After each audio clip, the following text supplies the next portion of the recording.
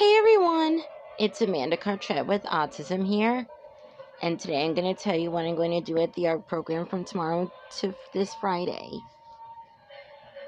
I am going to wear sweat a sweatshirt and sweatpants for pajama day tomorrow, and and I'm going back to the Arc program tomorrow.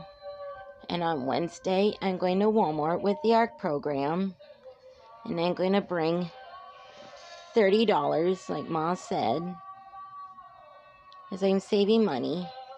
And on Thursday, I am going to have a, and I'm going to have a good Thursday at the ARC program.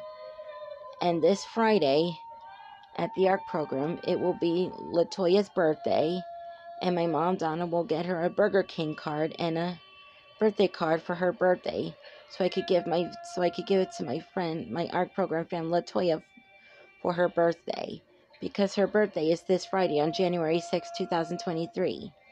Hope you enjoyed this video. Thanks for watching and please subscribe to the channel.